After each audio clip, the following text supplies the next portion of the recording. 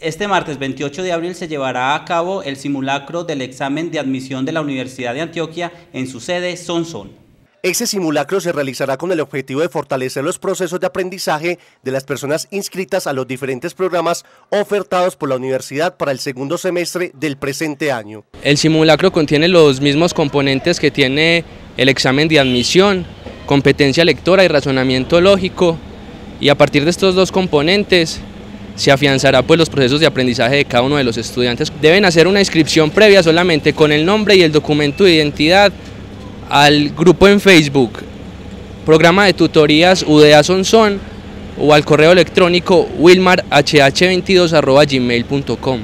Para el día del examen es necesario abstenerse de llevar celulares u otro tipo de medios que dificulten pues el proceso y deben llevar lápiz, borrador y sacapuntas.